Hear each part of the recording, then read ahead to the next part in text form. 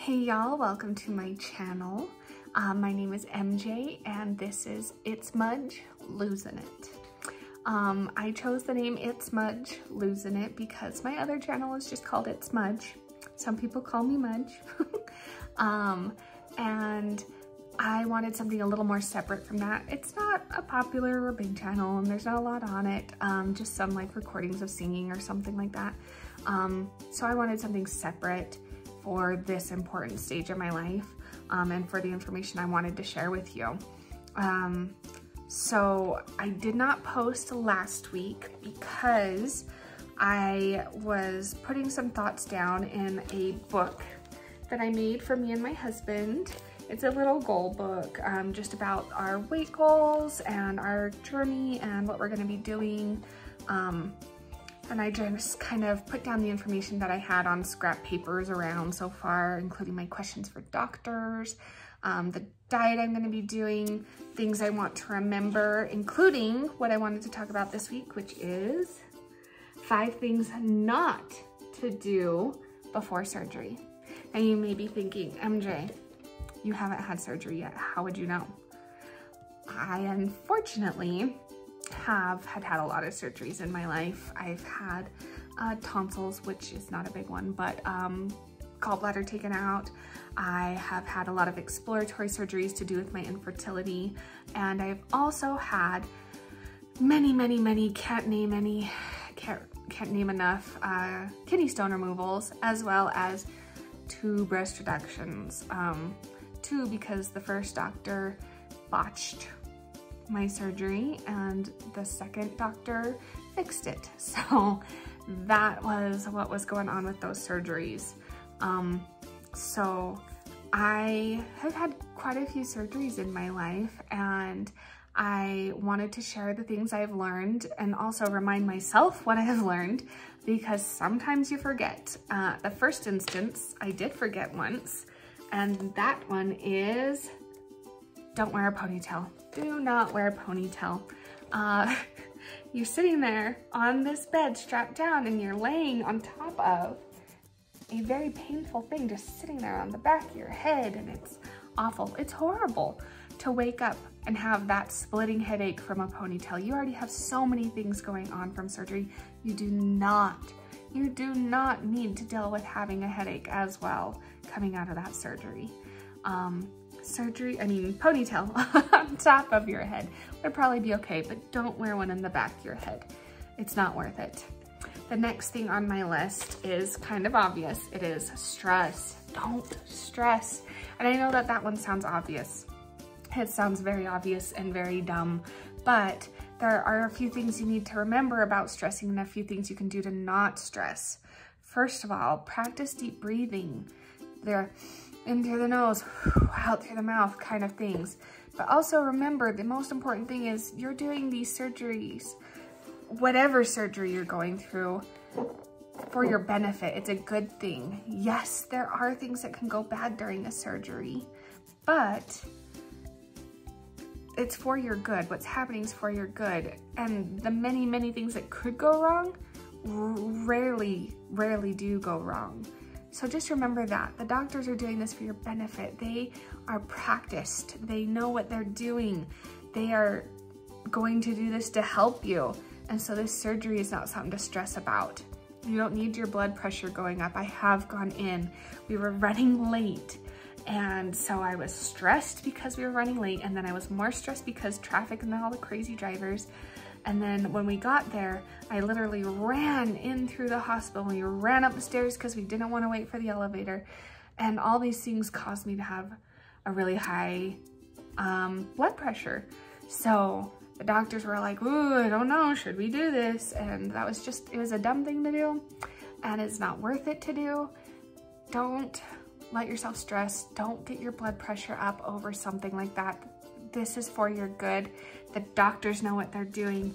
You know what, what you're doing going in there. The doctors are giving you a plan. Stick to it, don't stress. It's gonna be okay. the next thing is also kind of a duh. In fact, I wrote right next to it, duh, but don't eat, don't eat. Um, it's really important to remember not to eat because a lot of people, especially for this surgery, they think, oh crap, this is gonna be my last time I can eat ever again. It's not, you're gonna be able to eat. You just have to change the way you're eating. So yes, you won't be able to eat hamburgers that helped contribute to your weight gain much anymore. But that doesn't matter. You don't need to overload. The doctors have given us a plan and we've got to stick to it. I, particularly this week, I'm doing liquids during the day and doing a keto meal at night. And then next week I'll be doing full liquids. Um, this is self-inflicted. My doctor is not required, but I want to be ready for that. These doctors, they're going into our stomachs. And if we have overloaded ourselves with food that our body hasn't been able to fully digest yet, that's messy, that's hard. They've got to try to squeeze our stomach out through a little tiny hole cut. And I've watched the videos of that. I've watched them pulling and tugging the stomach out. Don't make it harder on the doctors than it already is. They're trying to make it as easy as possible. So let's make it easy on the doctors. Don't eat before. I have a friend who runs every morning and after her jog, she eats a couple of M&Ms. She did that. She ate an M&M before she remembered, oh crap, I have surgery. I can't do that the doctors, when she told them, they, you know, they always ask, have you eaten anything today? And she said, I had one M&M. And legitimately, they almost called off her surgery because of one M&M.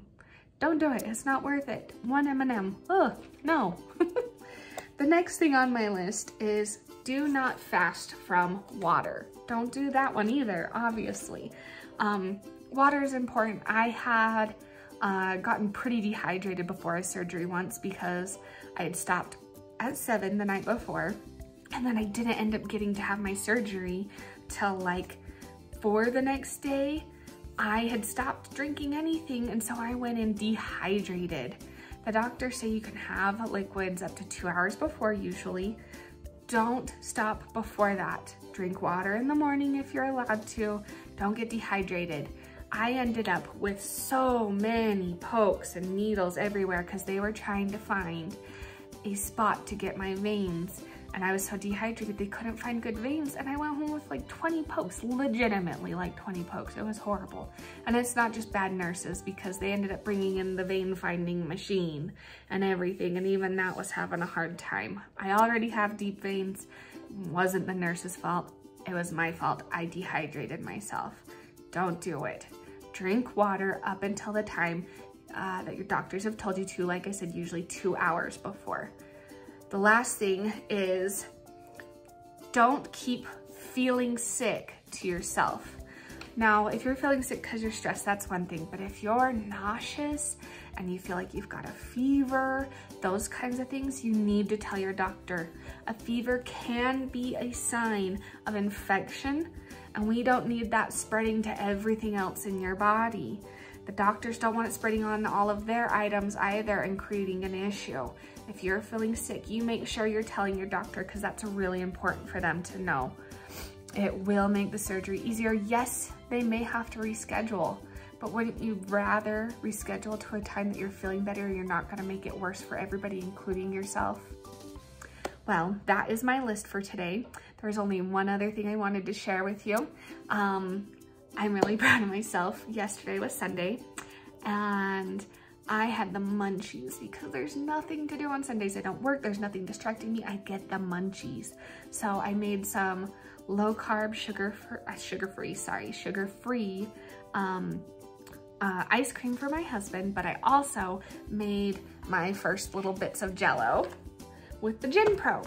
Um, I learned don't pour your Genepro into the boiling liquid because it turns into a hard sponge and it doesn't it doesn't do anything good for you. It's awful. I had to throw away that water and that Genepro, which was a waste. Um, it was one scoop, but it was still a waste. Um, so I then mixed my Genepro into the cold liquid and then I put the Jello um, I don't know, mix into the boiling liquid. And then once it was no longer boiling and mostly cooled down, that's when I poured in the Genepro um, cold liquids like you do in regular Jello. So I wanted to show you what I've done in my fridge because I distracted myself and I didn't eat extra yesterday. I was very proud of myself. So this is my fridge. I have all of our water. I have our little jello that's set up really nice. Um, yogurts for this week and muscle milk um, protein shakes for later. Um, I got salads and everything in there because we've been eating keto in preparation for this. I've actually been keto for about a year now, um, which is how I lost the 30 pounds before surgery. Um, anyway, I was just really proud of myself finding a distraction so I don't get those munchies. And I plan on making tons of plans the day, a couple days before surgery so that I am not bored and getting hungry and nervous, making me more hungry. You know, you get those munchies and the stress hunger. Don't, I, I don't want to have that. so I have made those things and I plan on being ready and getting stuff ready the night before so that I do not have any temptations. Um, anyway, thanks for watching my channel. Thanks for looking at the five things not to do before surgery. And if you're on a weightless journey, good luck. I'm excited for you. If you've already lost weight through your own practice or through surgery, please tell us about what you did. Please share. I want to know. Um, thanks for watching, and I hope y'all have a good day. Bye.